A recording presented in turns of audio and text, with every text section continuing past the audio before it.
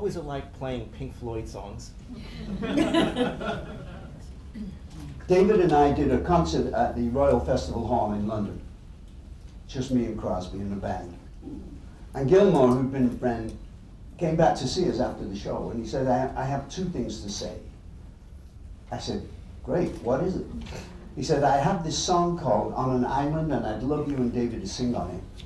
And the second thing is, I'm stealing your drummer. Which he did. David Gilmour has a, uh, a houseboat on the Thames, which is a recording studio. And it's the weirdest experience. You're standing at a microphone and people are rowing by, by the windows. I thought, I thought On an Island by David Gilmour with me and David singing uh, was a brilliant piece of music. And the DVD of David Gilmour's show with me and Crosby from the Royal Albert Hall was a, was a joy to do. David Gilmour is one of the musicians